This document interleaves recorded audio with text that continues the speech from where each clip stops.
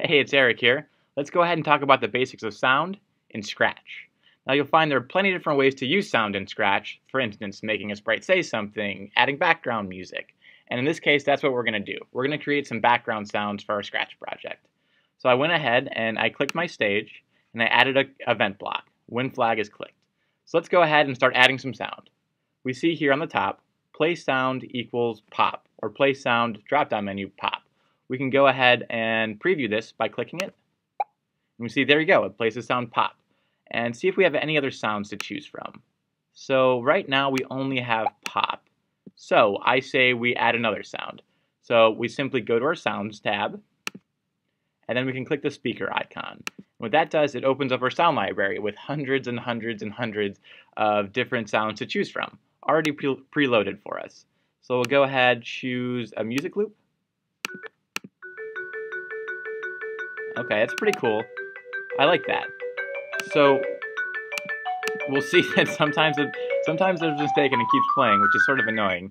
Um, but, but, anyways, hopefully that bug gets fixed. Um, but you'll see that the sound is now in our sound library right here, or the, the column that holds all our sounds. So we see the pop sound that we saw before, and our new like xylophone uh, sound. You can easily record a sound and also upload a sound from your computer by clicking these icons. So we'll go back to our scripts area, and if all went according to plan, we should see in our drop-down menu that new xylophone sound. And there it is. So we'll go ahead, we'll click this, and now when the green flag is clicked, we'll go ahead and play the xylophone. So pretty cool. Now, I'll, I'll point out that this sound is going to play from beginning to end. But perhaps we want the sound to loop. We can go ahead and create a forever loop. So, when flag is clicked, forever play the sound xylophone. So let's give it a shot.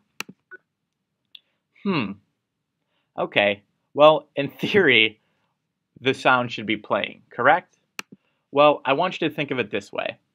We noticed that this forever loop is always going to be constantly updating this play sound block. So, if I do the pop sound, you'll notice it pops and it almost seems distorted because it wants to fire the next sound as soon as the one before it has fired. So what we want to do is say, don't play the next sound until we finish the xylophone track. So that's when we introduce this next block. Play sound xylophone until done. So it won't trigger that forever or play again until the xylophone has reached completion. So let's try it out. So there we go. It's going to play all 10 seconds of this sound and then it will repeat forever. And don't worry, that's one of the only nuances here in sound that we have to deal with. Now, moving on, we see the stop all sounds, and this should seem pretty obvious. So if you're creating a complex sequence of sounds and you want everything to stop, simply drop the stop all sound blocks. Now, let's move into one of my favorite aspects of Scratch, and that is creating your own sounds. So again, I'm going to create a, a loop, but this time I'll do a repeat 10 loop.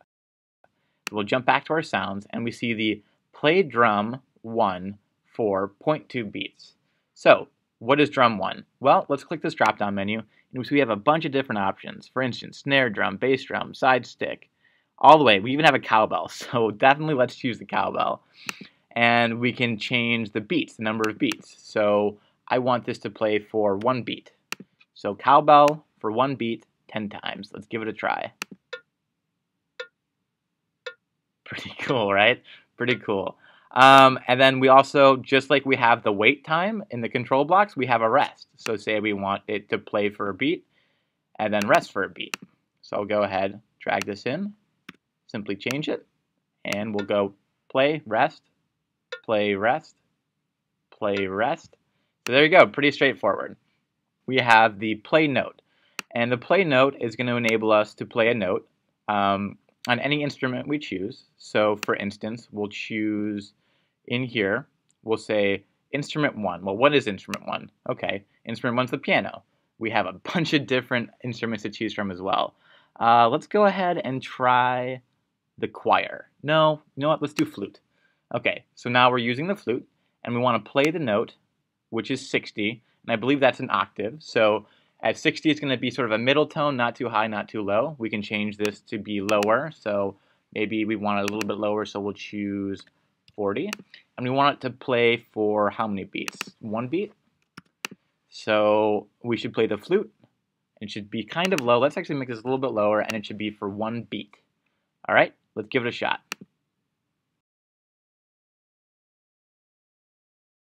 Uh, so again, we run into another problem. The That 20 that we chose, that's going to be too low. There actually isn't a note that low for the flute. So keep in mind, if you hit that threshold, it just won't play. So we'll go ahead and change it to something a little bit higher. So um, it sounds sort of like a car horn.